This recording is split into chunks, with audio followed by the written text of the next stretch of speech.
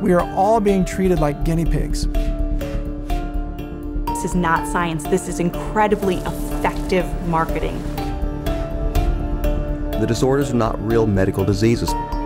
This is business. This is money.